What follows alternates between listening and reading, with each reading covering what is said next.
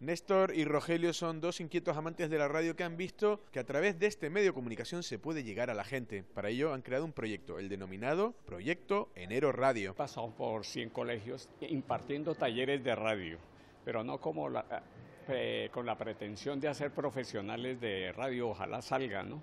sino es una actitud eh, que sirve para desarrollar las competencias claves que, que, tienen los colegios, hacer que los chicos adquieran habilidades para desarrollar su vida, en su vida, ¿no? hacer su plan de vida. Somos un equipo que estamos trabajando y ese trabajo se ve reflejado ahora en parte física para que cualquier persona que quiera formarse en radio, pero no como profesional básicamente, sino una forma de comunicarse mejor. Esa es la fórmula. Estamos en el vivero de empresas local 12 de la Cámara de Comercio y ahí vamos a abrir el aula para que una persona que quiera pues va y, y se forma con tres, cuatro personas que, que, estamos ahí. La cuestión técnica es siempre importante a la hora de llevar la información a través de un medio de comunicación. Para este caso, y pese a la humildad del proyecto, se cuenta con un avanzado sistema técnico. Todas las columnas amplificadas ahora mismo que hay en el mercado tienen sus entradas de micrófono y un lector de pendrive MP3. Uh -huh.